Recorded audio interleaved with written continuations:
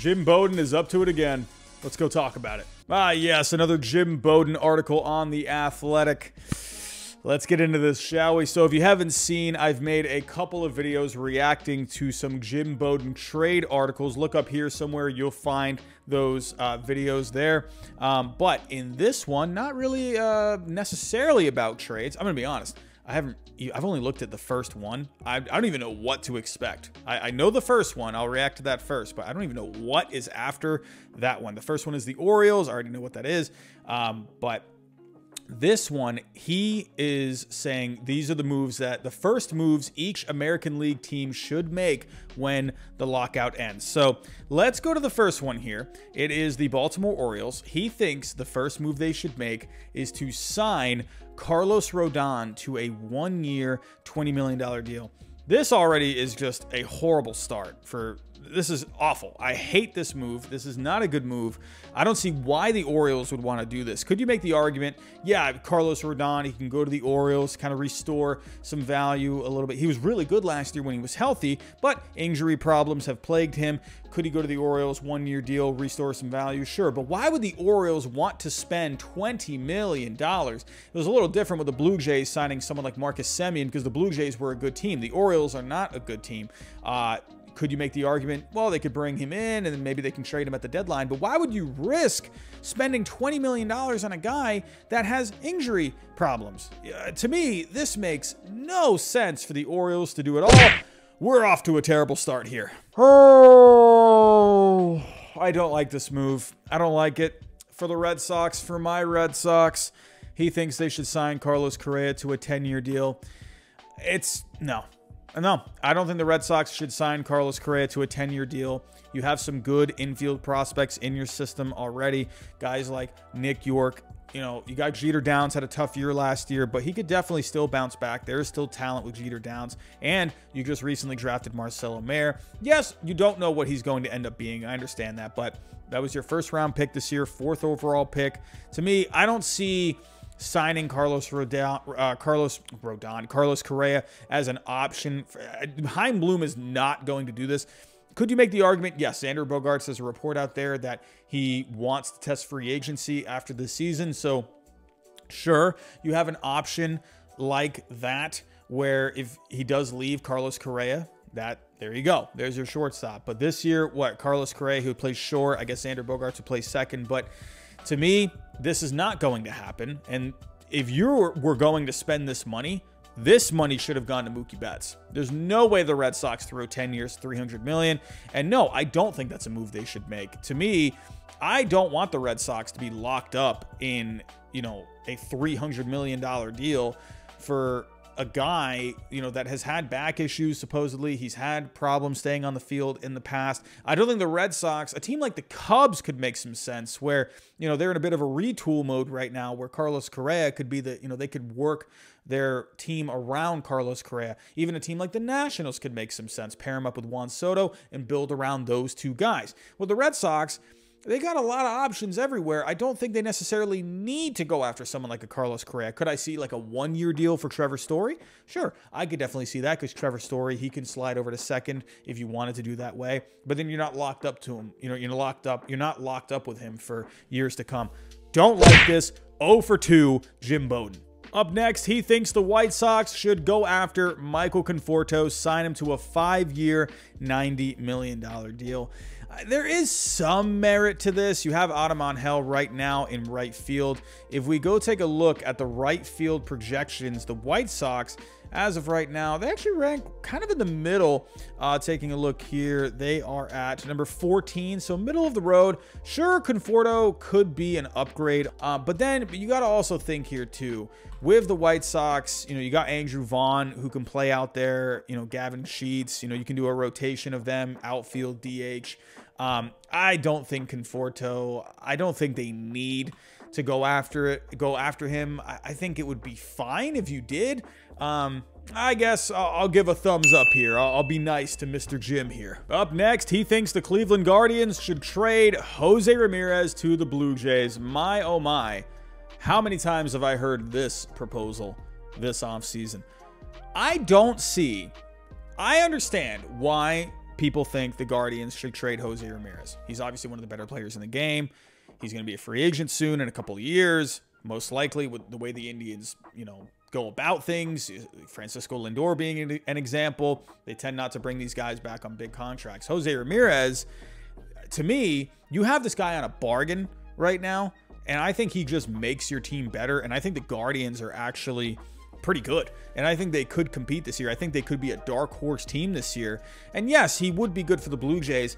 I just don't see the Guardians doing it. I just really don't.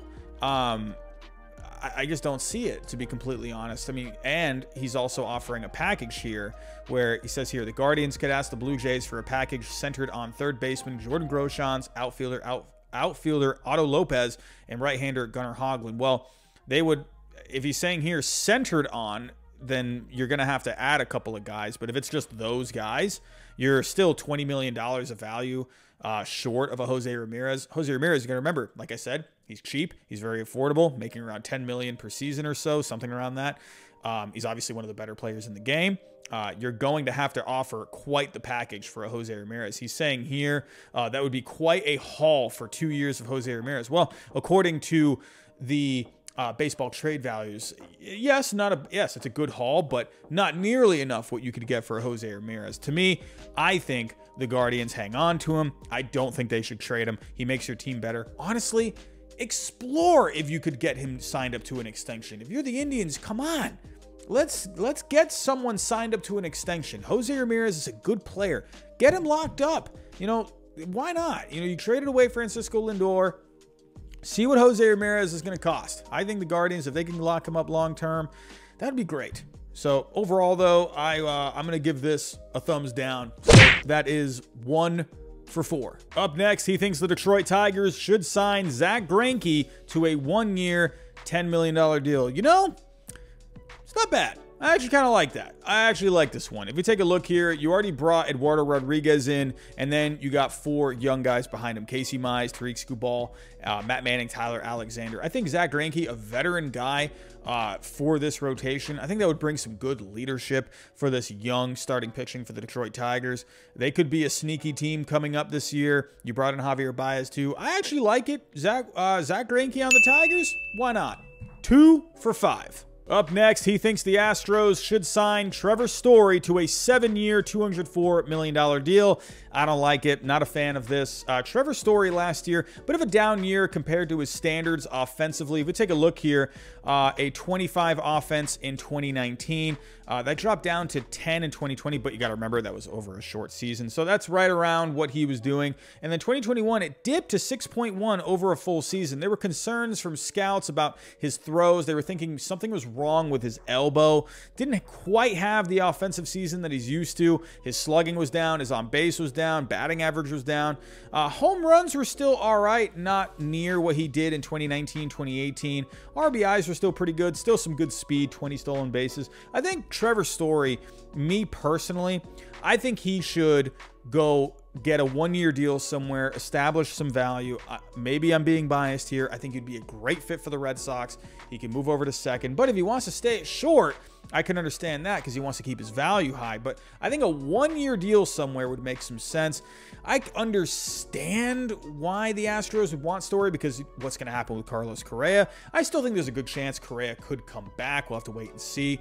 Um, but to me, the Astros, if you're going to move on from Carlos Correa, I mean, you have right there Jeremy Pena as the next man up. This guy has been really good in the minor leagues. The bat came alive last year in the minor leagues. The defense is really good. He's got a little bit of speed. That's the guy that you turn to.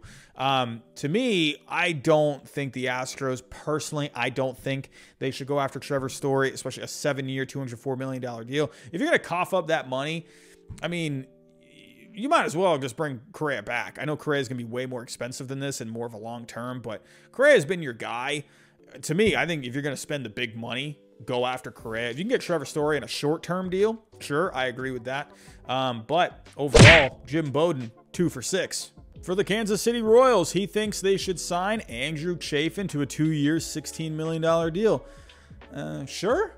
I guess. I mean, why not? I mean, it never hurts to add a reliever, especially someone like Andrew Chafin. Wonder if he's going to go after more years. I would imagine he probably want to try and go for a three-year deal, kind of like how Joe Kelly did. Uh, got a three-year deal with the Dodgers, but yeah, he's not wrong. He's one of the better free agents, uh, free agent relievers remaining out there. I would love Andrew Chafin personally. He says here they would like to add a lefty reliever.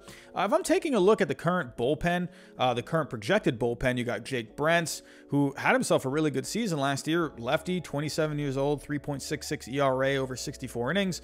Uh, you have Gabe Speier in middle relief, lefty. Uh, small sample size last year, but a 1.17 ERA. So, um, you know, they got a couple of quality lefties. Sure, could you use like a, a good setup guy like an Andrew Chafin? Yeah, I think personally, I think the Royals, if you can, I would love for them to add um, some uh, starting pitching if you can. If we're taking a look at the starting pitching from last year, Kansas City, they only ranked 19th in starting pitching last year. And if we take a look at the offense from la uh, last year, Kansas City didn't rank too well on that either, uh, 23rd overall.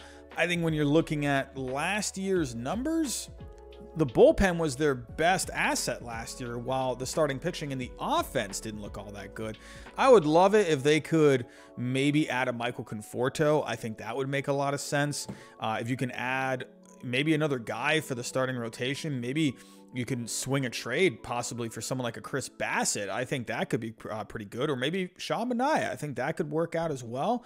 Um, it never hurts to add a reliever, so I guess I'll uh, I'll give this a thumbs up. So three for seven. Up next, he thinks the Angels should trade outfield prospect Jordan Adams to the Marlins for left-handed pitching prospect Jake Eder and righty Zach McCambley. I can't believe I'm about to say this. Jim, I like this trade. I can't believe it. I, this is wow. I never thought I would see the day. It checks out on baseball trade values, and I like this trade. Why? Because the Angels, they're getting some pitching in a creative way, and they're giving up a pretty good prospect in Jordan Adams. Uh, taking a look here with Jake Eder, he is the current number six prospect in the Marlins system. And if you're taking a look, at Jordan Adams. He's the number four in the Angels system. I think with the Angels, they have an abundance of outfielders right now. They got Jo Adell, you got Brandon Marsh. I think Jordan Adams is someone that is expendable. Uh, if we go take a look at Jordan Adams, last year, it looks like you know he had a tough season last year, but he's uber athletic. Even though he only hit 217 with a 290 on base and a 310 slugging, he had 18 stolen bases, 277 at bats. There's a lot of upside for him. If you take a look, the speed at 80. Yes, he's going to have to come a long way with the bat, but the fielding and the speed and the arm are all very good, especially the speed. Maybe the Marlins can figure out something with him. Uh, but as for Jake Eder, I think this is a really underrated pitching prospect. If you take a look at the numbers that he had last year, over 72 innings, a 1.77 ERA, 99 strikeouts, and only 27 walks. Uh, taking a look, and that was in double A. Very good numbers overall. I think Jake Eder could be a very sneaky pickup for the Angels if they were to go this route. And again, the values are pretty close. I mean, baseball trade values accepts the trade. Jim, I'm going to give you a thumbs up here overall. We're four for eight. For the Minnesota Twins, he thinks they should trade for Frankie Montas from the Oakland A's. You know, I like it. I like the move. I think that would be really good for the Twins rotation. Frankie Montas was really good last year. 32 starts, 187 innings pitched, a 3.37 ERA.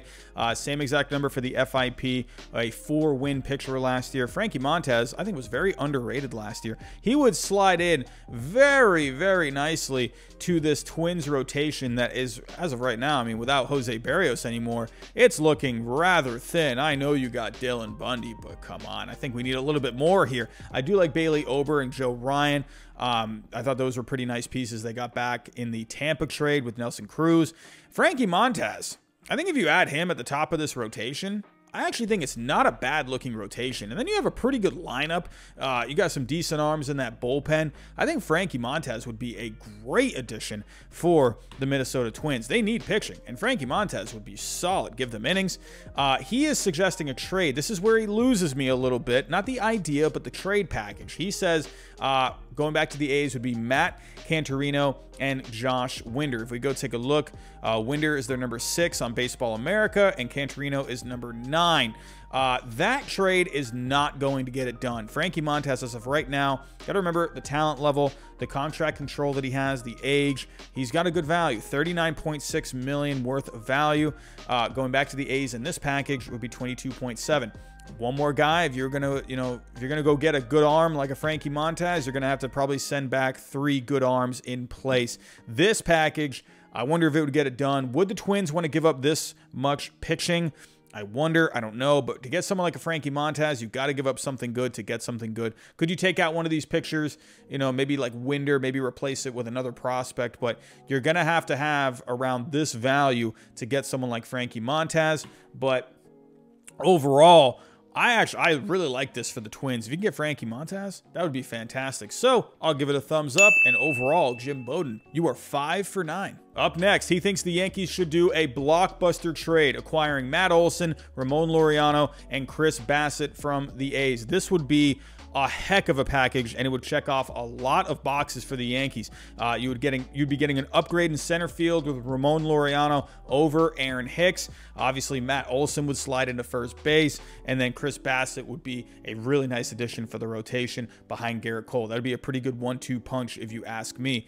However, this is where he loses me. Now, I see the thinking behind it. He's saying here the deal would have to be built around one of the Yankees' top three shortstop prospects, Vol- uh, Volpe, Peraza, or Trey Sweeney, along with a top pitching, outfield, and catching prospect. A package of five of their top 25 prospects is probably what it would take to make a game changing trade like this. Well, in my opinion, I think the Yankees want to hang on to Volpe, so I would use Peraza here. However, this is where I get lost. If you go to baseball trade values, there's a lot of value. Ramon Laureano, you have to remember, he's got sneaky value. He can do it all. He's got a decent bat. He's got good defense out there, and he's got speed.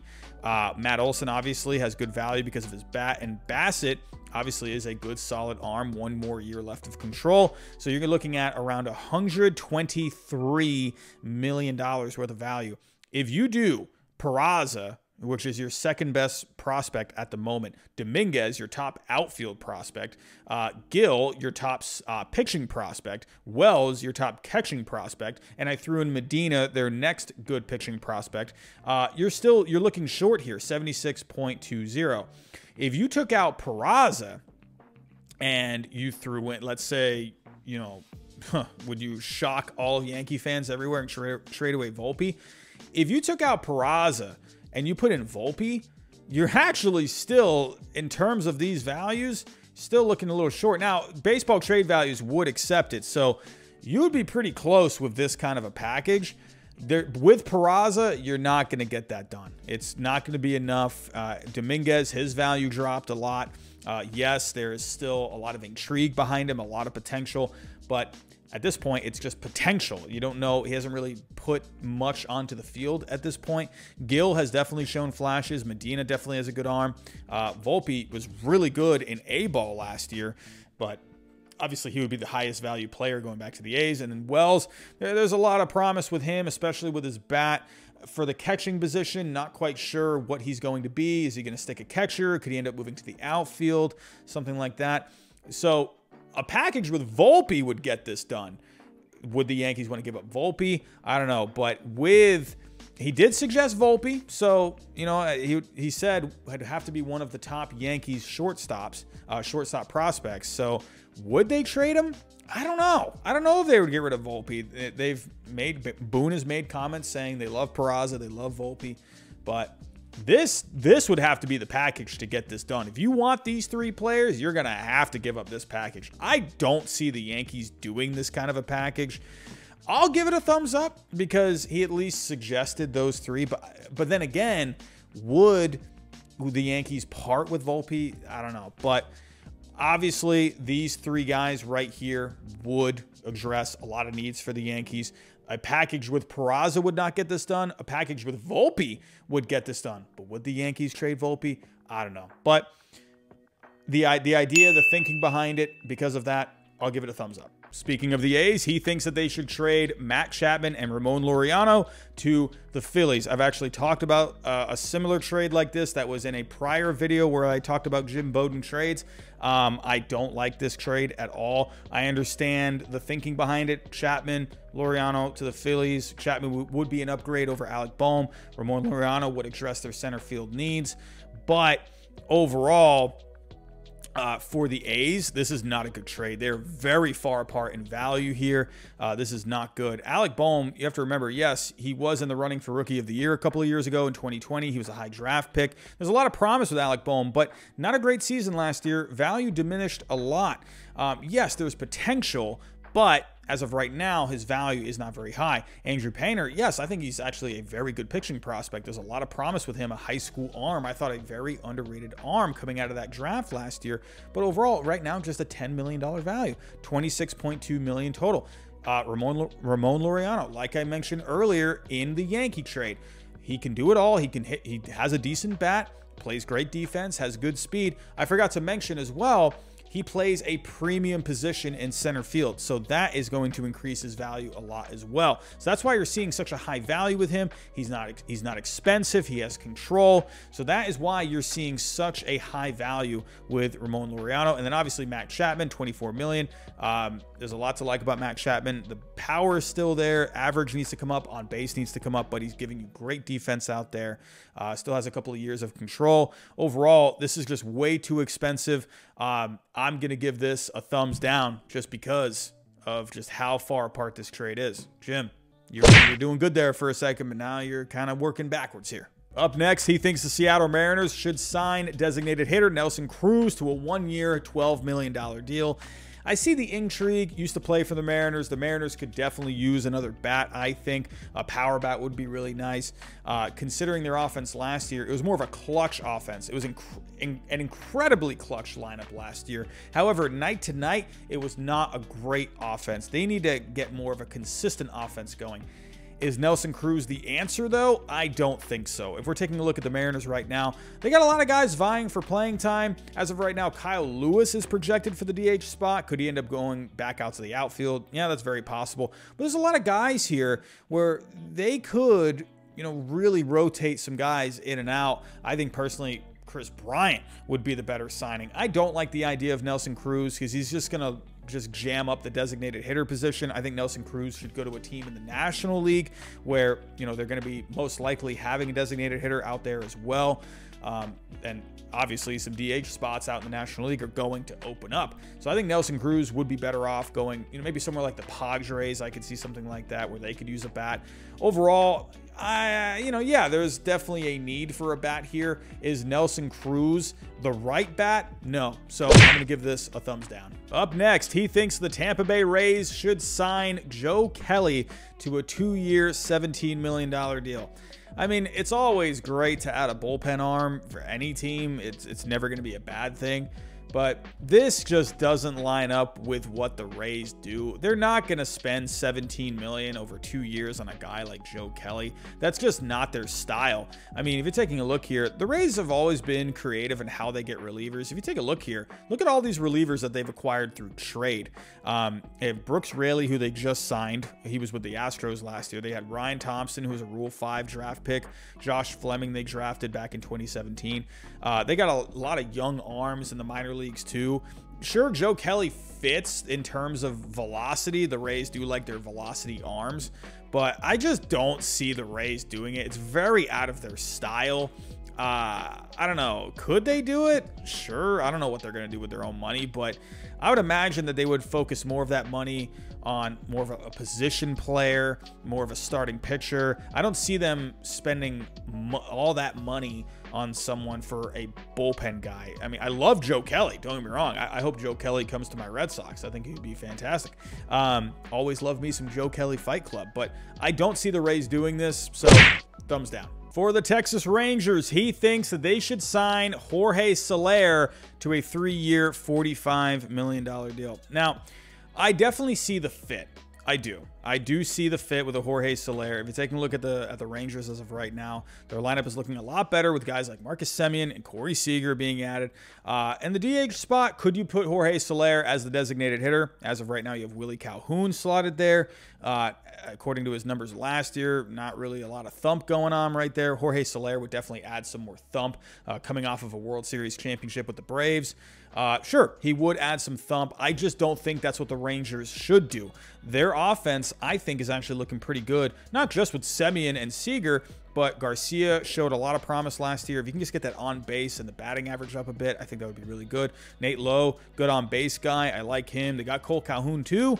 Um, there's a lot of promise here with this Rangers lineup. Could they use another bat? Sure, absolutely. But don't forget, you have Josh Jung, who could be coming up eventually. There are some bats down in that minor league system. I think what the Rangers need to do is sign some starting pitching. I think they should go after Clayton Kershaw. That's the guy that I think they need to go get.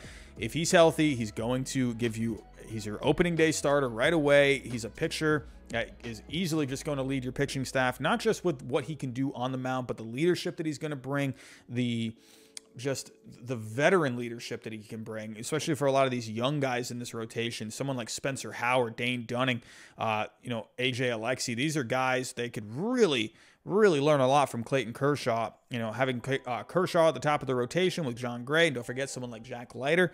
Uh, Kershaw, I think, is the guy you should go after. Not Jorge Soler. I think you've already done enough with this offense. Could you go after someone like Seiya? I'd rather go after Seiya Suzuki. If I'm going to go after a bat, probably be Suzuki. Someone that can, you know, provide you know, a good bat. He can play in the outfield as well. Where you know Soler can play out there too, but to me, I'd I think I'd rather take a chance on someone like a Seiya Suzuki. I, I like the intrigue of him, but to me, I'm not going for a bat. I'm not going for a bat. I'm going for a starting pitcher, and that guy to me is Clayton Kershaw. I do see it, but overall, to me, it's not the right person to add. So thumbs down. And last but not least, he thinks the Blue Jays should trade for Jose Ramirez. We talked about this earlier. I just don't see the Guardians doing it. I think they're going to hang on to him. He makes their team better. He's cheap. He's affordable. Still has another year of, he has two years left of control. I don't see the Guardians giving up Jose Ramirez. Would he make the Blue Jays a better team? Yes, he would make the Blue Jays a better team. But like I was saying with the Rangers, I don't think this is something that they need to do. I think they need to address that bullpen. Their bullpen last year was not very strong from the beginning to the end of the year. They tried adding a couple of guys here and there, but nothing really worked out for that bullpen. To me, that's where, yes, I understand you lost Marcus Semien. I get that. I think if you can somehow replace a bat like Marcus Semien, uh, that's obviously going to be great. Uh, they could use a lefty bat here. Absolutely, they could use a lefty bat. But to me, I think this lineup is still looking rather good. Um, again, you could use a lefty, sure. But, and, and if you can get Jose Ramirez, if the Guardians would do it, yeah, go get him if you can. I think with the Blue Jays, you have such a squad right now where he's going to make your team better. I think they should go after a bullpen arm. They could definitely use another guy out there. They did bring in Yimi Garcia. I did like that. So I thought that was a good step. I think they need something else, though. If you could add one more guy for this bullpen, I think that would be great. So I will give it I will give this a thumbs up because obviously Jose Ramirez would make your team better. But will the Guardians trade him? I don't know at the end of the day, but I if I were to make a bet, I don't think they do. I mean, to me, he makes their team better. They're obviously starting a new season, uh, or they're starting their season this year with a new name.